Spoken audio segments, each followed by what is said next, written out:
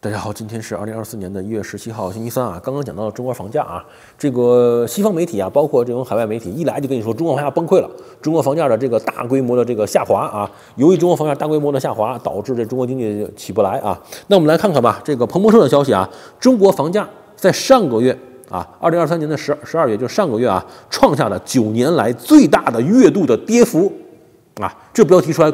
够狠吧，够吸引人吧？好，我们来看看啊，是一月十七号彭博社报道的，说中国房价啊创下九年来最大跌幅啊，是上个月十二月啊，二零二三年十二月，七十个城市不包括保障性住房在内的新建住宅，就是新房子啊，新建的住宅价格较十一月，就是十二月啊，比十一比二零二三年十一月下跌了啊，巨大的下跌啊，九年来最大跌幅，下跌了百分之零点四五。呃，然后呢，跌幅较去年啊，二零二三年的十月的百分之零点三七进一步的扩大，哇，要跌的跌不住了，要啊，吓死人了啊，跌了百分之零点四五啊，创了二零一五年二月以来的最大跌幅，而二就是说上一次有这么高跌幅还还是二零一五年二月了啊，嗯，然后呢，这是这是新房，再看呢二手房，二手房市场二零二三年十二月也是上个月啊，二手房价格下滑了百分之零点七九。啊，跌幅呢与十一月呢相同，这次没有扩大啊，差不多，那就整体上这么一个意思啊。那说实话啊，中国的房地产，我认为呢，就是离着崩溃还很有一段这个距离啊。哎，这个灯还是有点发黄，你看是不是？没有没有没有这个这么白，是不是？不是一样白，一样白啊，一样白。好，那我可能我看错了啊。接接好接着说啊，这个。呃，说到哪儿？就是这个中国房地产啊，就是说，你看是有点往下跌，从百分跌百分之零零零呃零点几，那很夸张吧？我觉得其实不是，就刚包括我们前两天说这个香港房价一样，香港房价跌了三分之一了，你猜跌多少啊？香港房价跌了三分之一，但是有用吗？有意义吗？没有意义，你知道吗？那香港那个房价，有我们认识一个小伙伴，问了问他们在香港买的房子啊，以前没当没当回事，现在知道香港买的房子，一百三十几平米啊，三千万港币。那合多少？合七五七三十五六七六七呃，哎不对，呃三三千万对吧？三千万的话，五七三十五六四四七四七二十八，等于四百多万美元，对不对？四百四百多万美元啊，呃，买了一百三十平米。那你想想，这这都这这什么概念啊？当然，现在一跌也是差不多跌了个三分之三分之一不到吧，跌了个七八百万啊，可能现在还值个两千二左左右，两呃两千二。呃，两千三呃左右是跌了一些啊，那的确是跌了，但是对于老百姓来说有有关系吗？老百姓买吗？一百三十平米，两千多万港币买吗？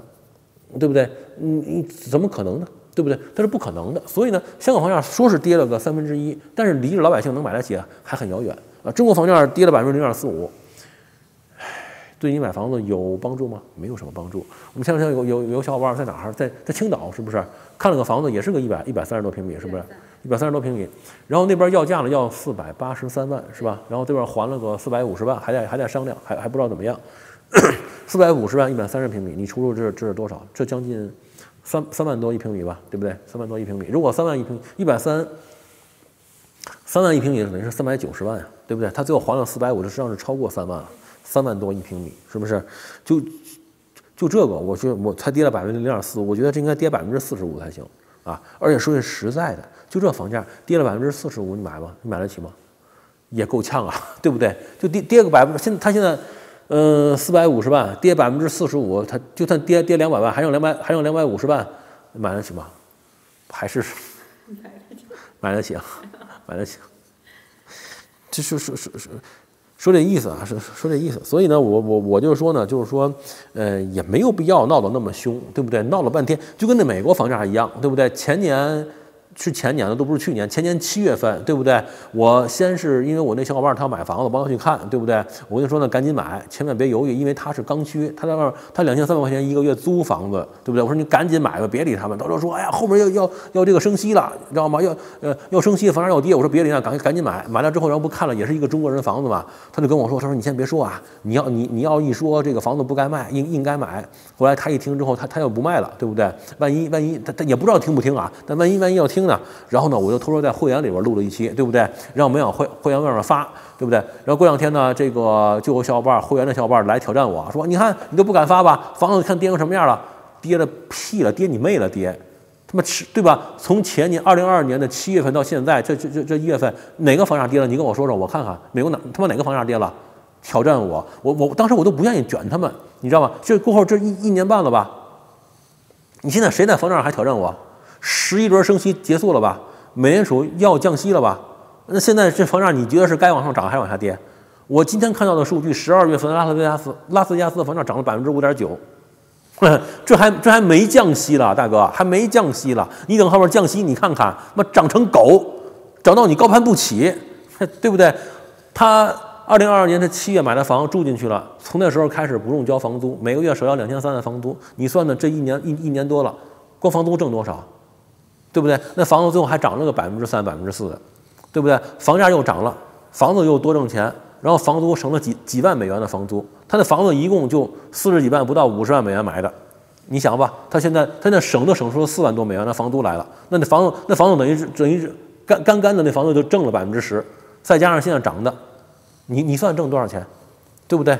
还跟我挑战挑战个屁挑战，对不对？你中国房价也是天天不就说嘛，中国房价崩溃崩溃个屁了。跌了百分之四点五，就就简直就是说有史以来最大跌幅了，就对不对？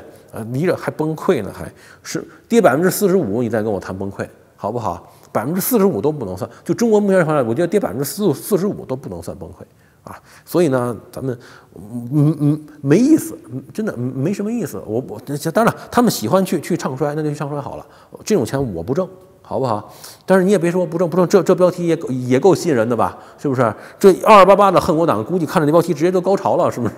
都不用点进来看就高潮了，是不是？裤子还没脱都高潮了啊？好吧，那这期讲到这里吧，谢谢大家。